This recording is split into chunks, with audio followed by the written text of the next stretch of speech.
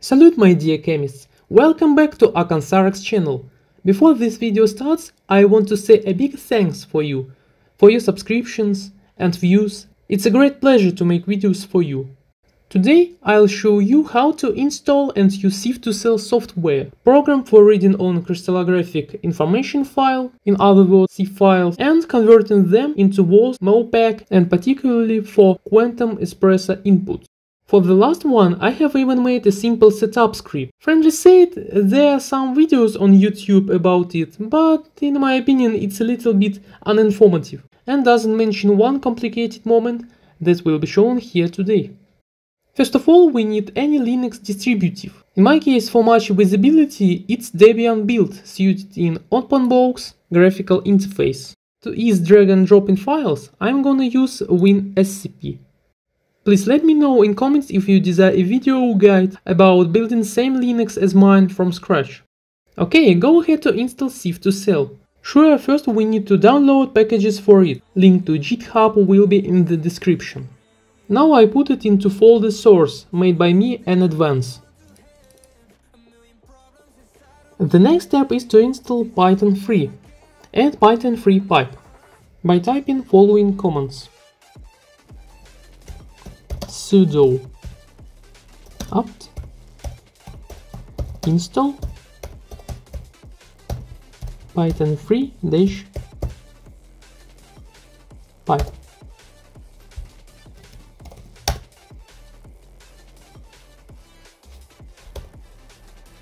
click yes.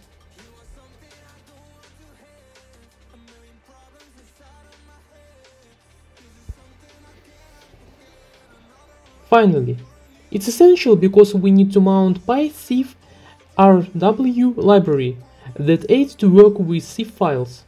For doing this, just type pip3 install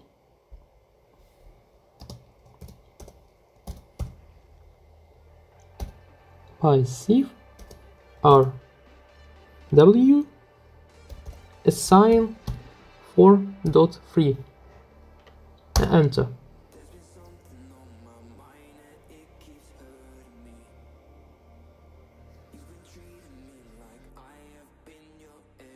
And the last step is just to run setup.py file.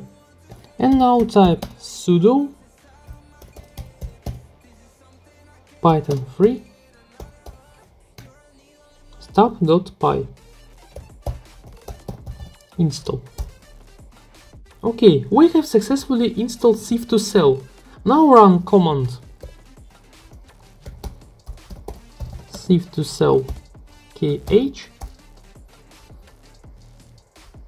to check if everything is alright. Yeah, the list of all keys with pretty clear description.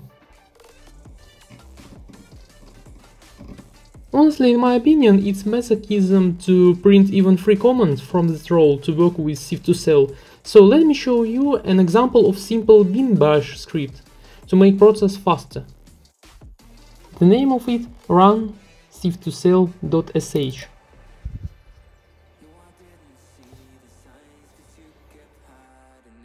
As you can see, commands read kp read on the name of CIF file and also the name of output.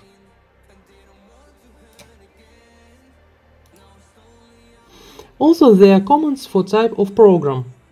I made for my familiar Quantum Espresso. Also I have added an export of CIF labels and that really convenient extension for pseudo potentials. Let's go to test it. ch mode 777 index h and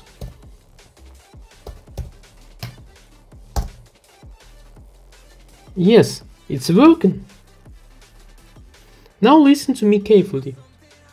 I have met this problem when I was so needed in CIF2Cell during my diploma work. I take a random CIF file of Crown Ether Associate and trying to run a program. Let's go. And print the name, for example, M43 out. Yeah, as you can see, error, cell setup. C file contains neither space group symbols nor space group number. I was trying to fix it so long, but emerged as a victor. To fix it, you just need to, to open CIF in Mercury, thanks God that program partially free to use.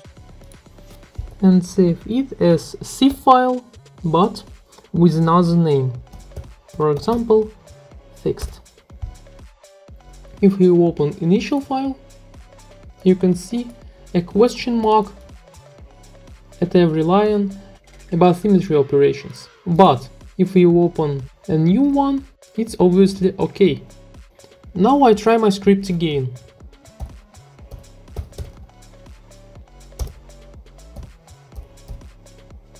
M43 fixed and M43 out. Yeah! Awesome! Input file for Quantum Espresso was successfully created. Guys, if you wanna guides about Espresso, let me know in comment section. You can see here cell parameters, atom species with, with printed pseudo-potentials extensions, and of course fractional coordinates of your atoms. To sum up, today I have shown you how to install and use CIF2Cell program without issues. So, if the video was helpful, put likes, leave comments and subscribe to AcanthareX channel. Bye bye!